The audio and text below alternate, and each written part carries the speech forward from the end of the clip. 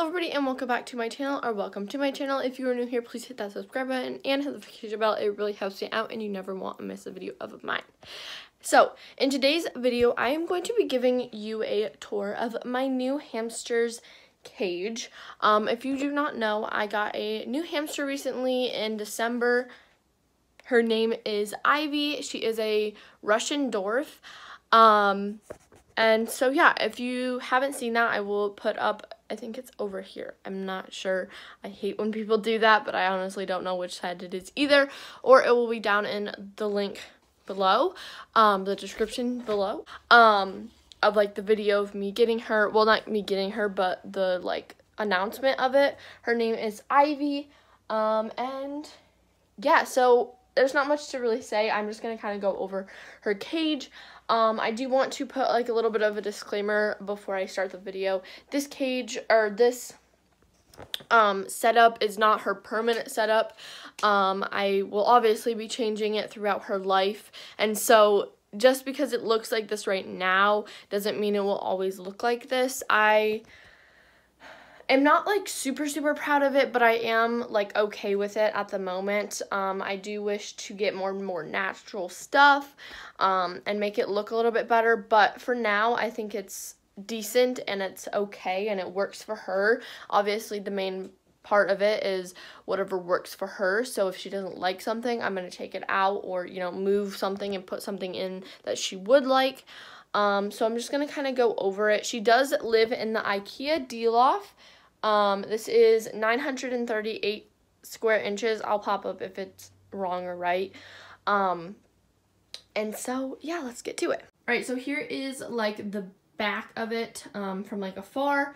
This is not her burrowing area. This is, I think, eight inches of bedding. Um, I do wish to get more bedding as I go on. I'm just still trying to like learn her and see what she likes. Um, on the other side, there is a little bit more bedding, not a lot, a little more bedding, um, but just to let you know, this is not her burrowing area. All right, so we're to start on this side. Okay, I think I'm just to do a voiceover while doing it. I'm just to film and then later on I'll do a voiceover. All right, so starting over on this side of her cage, she has some coconut fiber, she has some aspen, and she also has some paper crumbles. Um, I try and give her as many different options as she would like. Um, I'm not really sure what I want to do with this area yet, but she does also have a jar and a tunnel over in that area and some Alright, so heading into the sand, she has some rocks to block it and also file down her nails. She has her 11 inch wheel and she also has her terra pot, which she absolutely loves. Sand is a really great option for hamsters to clean themselves and also have a place to go to the bathroom.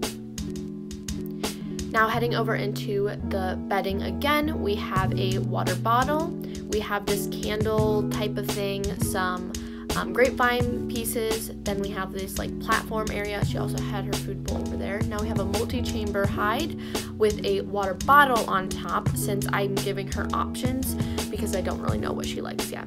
Um, she has a hide over there. She has her cork tunnel. She also had another piece of grapevine. She has a lot of grapevine pieces and you can see she also has her hide over there. She has some more of these like platform things. She absolutely loves them so much. And that's pretty much it. Um, I do um, sometimes scatter feed her. Most of the times her food is in the bowl. Um,